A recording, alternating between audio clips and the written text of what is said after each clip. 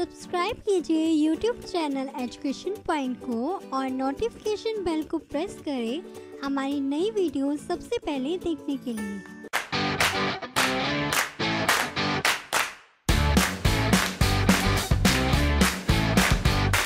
Hello everyone welcome to my channel education point मैं हूँ आपकी दोस्त सपना दोस्तों, पिछली वीडियो में हमने बात की थी सार्क के बारे में और आज इस वीडियो में हम बात करेंगे गेट के बारे में।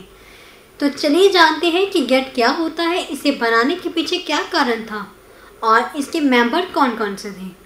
तो चलिए शुरू करते हैं हमारी आज की वीडियो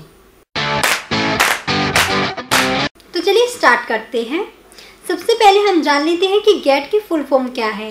गेट का मतलब है general agreement on trade and tariff तो सबसे पहली बात तो ये है कि ये एक ऑर्गेनाइजेशन नहीं है, ये एक एग्रीमेंट है, जो कि तब तक चलना था जब तक कोई नई ऑर्गेनाइजेशन बन नहीं जाती। गेट को क्यों लाया गया था? गेट को इसलिए लाया गया था ताकि इंटरनेशनल ट्रेड को प्रमोट किया जा सके और उस पर लगने वाले ट्रेड पर लगने वाले टैरिफ को कम किया जा सके। तो इसलिए गैट को बनाया गया था।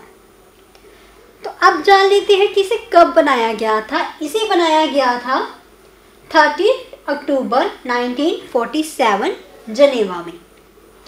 इसे 23 कंट्रीज़ द्वारा साइन किया गया था। लेकिन इसे बनने के बाद ये इफ़ेक्ट में कब आया था? एक्चुअल फॉर्म में कब आया था ये? 1 जनवरी 1948 में। पहले जो ऑर्गेनाइजेशन बनने वाली थी, वो थी आईटीओ यानी कि इंटरनेशनल ट्रेड ऑर्गेनाइजेशन लेकिन कुछ कारणों से ये ऑर्गेनाइजेशन नहीं बन पाई, यानी कि ये फेल हो गई। क्योंकि कई कंट्रीज़ ने इस ऑर्गेनाइजेशन में साइन करने से मना कर दिया, जिसके कारण ये ऑर्गेनाइजेशन फेल हो गई। लेकिन आईटीओ को क्यों बनाया जा रहा था? आईटीओ को इसलिए बनाया जा रहा था क्योंकि सेकेंड वर्ल्ड वार के बाद देश की हालत ज़्यादा ख़राब हो गई थी, जिसके कारण बेरोज़गारी और लोगों को एक जगह से दूसरी जगह जाने के लिए मजबूर हो गए थे। जिसके कारण आईटीओ ऑर्गेनाइजेशन यानी कि इंटरनेशनल ट्रेड ऑर्गेनाइजेशन की ज़रूरत पड़ी। लेकिन कुछ देशों ने इसमें साइन नहीं किया, जिसके कारण ये फेल हो गई। तो बेसिकली कैट में होता क्या था, जब भी कोई ट्रेड में प्रॉब्लम आती थी तो वो डिस्कस की जाती थी और उसे डिस्कस किस तरह किया जाता था? राउंड्स में। राउंड्स में प्रॉब्लम्स को डिस्कस किया जाता था, बातचीत की जाती थी, जो भी प्रॉब्लम थी, उनको सॉल्व किया जाता था। और इसे डिस्कस करने के लिए कोई फिक्स टाइम नहीं था। जैसे दो साल बाद हो गया या एक साल बाद डिस्कस किया जाता है, जब भी कोई ट्रेड में प्रॉब्लम आती थी, ये उसी टाइम पर ये डिस्कशन की जाती थी। और अब तक आठ डिस्कशंस हो चुकी है, यानी कि आठ राउंड्स हो चुके हैं, जो कि फ़र्स्ट राउंड हुआ था 1947 में सेकंड हुआ था 1949 में थर्ड हुआ था 1950 से 51 फोर्थ हुआ था 1956 में फिफ्थ हुआ था 1960 से 61 सिक्स हुआ था 1964 से 67 सेवन्थ हुआ था 1973 से 79 और एट्थ जो कि लास्ट राउंड था, वो हुआ था 1986 से 94 तक। ये सबसे लंबा राउंड था जिसपे यूरगरी राउंड भी कहा जाता है।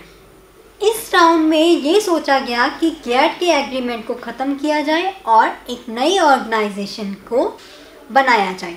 गैट का मेन ऑब्जेक्टिव क्या था? गैट का मेन ऑब्जेक्टिव यही था कि इंटरनेशनल ट्रेड को बढ़ाया जाए एम्प्लॉयमेंट भी वृद्धि हो और लोगों के स्टैंडर्ड ऑफ़ लिविंग में वृद्धि की जाए। लेकिन इस एग्रीमेंट को ज़्यादा देर तक चलाया नहीं गया, क्योंकि इसमें कई सारी प्रॉब्लम्स क्रिएट हुई थी। जैसे जब वो डिस्कशन करते थे, तब उनका पूरे पूरे सोल्यूशन नहीं निकलते थे, जिसके कारण थोड़ी प्रॉब्लम्स हो जाती थी। जैसे नंबर वन है limited to removing tariff of goods agriculture and textile were excluded जिसका मतलब ये था कि ये गेट सिर्फ़ गुड्स पर लगने वाले टैरिफ को ही रिमूव करती थी। एग्रीकल्चर और टेक्सटाइल इसमें इंक्लूड नहीं थे। Number two GATT was applicable only on trading और मर्चेंट गुड्स जिसका मतलब था कि गेट केवल गुड्स पर ही लागू होता था, किसी और चीज़ पर नहीं।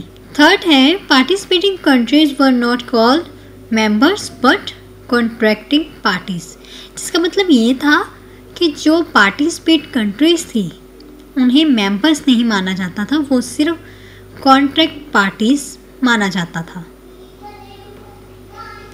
तो और भी ऐसी कई सी प्रॉब्लम्स थी जिसके कारण इस एग्रीमेंट को आगे नहीं चलाया गया। और क्योंकि ये एक एग्रीमेंट था, और कई कंट्रियों का ज़्यादा कंट्रीब्यूशन था और कईयों का कम था। तो इस कारण से भी इस एग्रीमेंट को आगे नहीं चलाया गया और नई ऑर्गेनाइजेशन को बनाया गया, जिसे कहते हैं डब्ल्यू डब्ल्यू का मतलब है वर्ल्ड ट्रेड ऑर्गेनाइजेशन जिसके बारे में हम आगे पढ़ेंगे। तो अगर आपको ये वीडियो अच्छी लगी हो तो इसे लाइक करें शेयर करें और इस चैनल को सब्सक्राइब करना ना भूलें। Thank you so much